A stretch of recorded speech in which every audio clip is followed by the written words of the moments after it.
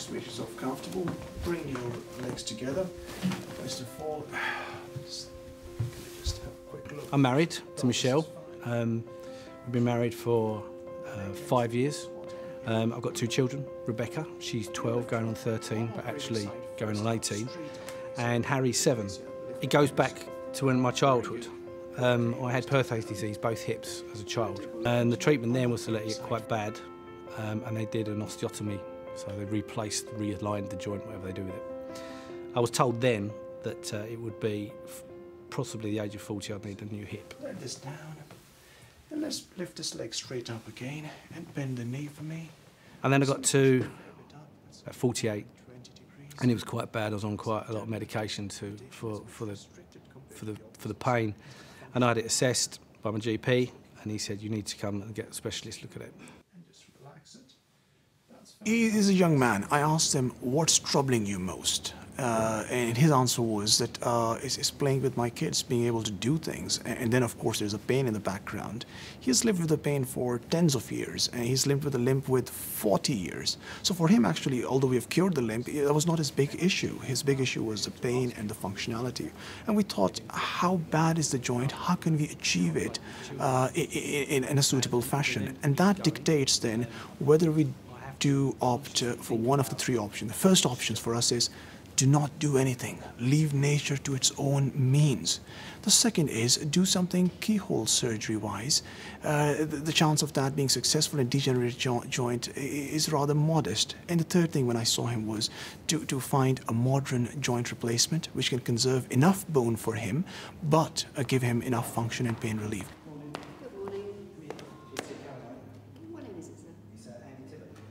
He did quite a lot of work actually because um, not only did he correct or replace the hip, but he corrected the leg length, and also my leg was twisting out. So I walked at two o'clock with my right leg at two o'clock.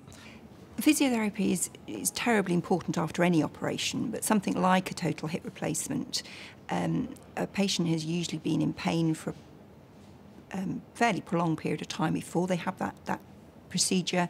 They usually find that their walking and their general function has deteriorated.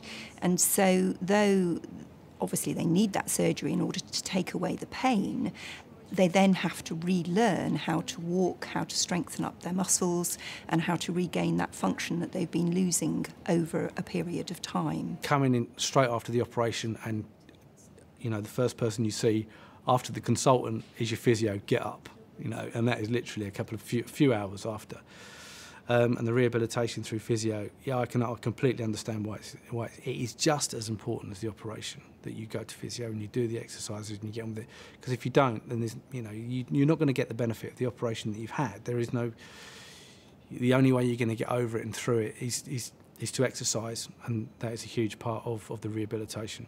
The advances in things like anaesthetics mean that people don't have to lie in bed for so long. So we're encouraging people. Andy got up the, the, the evening of surgery, um, which for most people is a sort of, are you sure? Am I allowed to do that? So it takes an awful lot of coaxing and persuasion. And um, yes, that's absolutely fine. But the, the whole team is involved. They've got the appropriate pain relief, um, and you know initially they're getting up supported by nurse, physio, etc. Um, and then that continues, that building up of a relationship between the, the physios and then the patient in order to regain confidence um, in, the whole rehabilitation process. It's, it's vitally important that after surgery, you have to, it's like baby steps. You have to teach them everything again, get the range of motion in, in the joint, be it knee or the hip itself. The next stage is getting the muscle balance. It's not just strengthening one group, but getting the balance right. And it's not just around the joint, it's the rest of your body, your core, your abdomen, your, your back. Within Progress, um, a patient like Andy has access to um, very experienced physios who are used to working with the consultants and have good liaison with the consultants. Uh, we know exactly what they particularly want. And within the range of facilities here, we can offer not only just conventional exercises, but we've got Pilates classes, we've got other um, lower limb strengthening classes if that was appropriate. We've got a good range of um, gym equipment, so he's already started using the cross trainer, the bike, the treadmill, and then we have the AlterG, which is um, an anti gravity treadmill, which allows him to um, start uh, weight bearing through his hip quicker because some of his weight has been taken off, so he's able to actually start to, to run without putting too much pressure through his new hip. Probably doing now more than I have done before.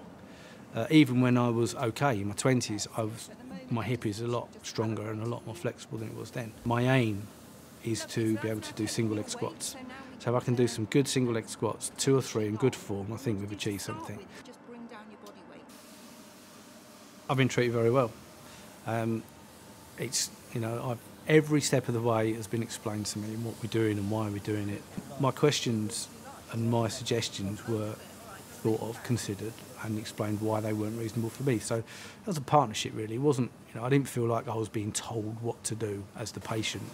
I was being listened to and I was being you know advised. And the same with physio. You know, uh, uh, if I can't do something, I don't feel like I'm I'm being told. It's not like a, an instructor down the gym who's do another 10, do another 10.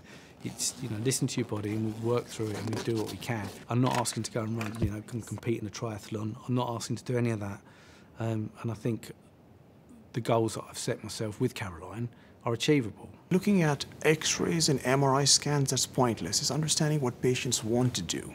If Andrew was the same patient and he had an ambition that he wanted to do uh, certain, uh, climb certain rocks, I, I, do that myself and I know the sort of moves that he's going to be able to do.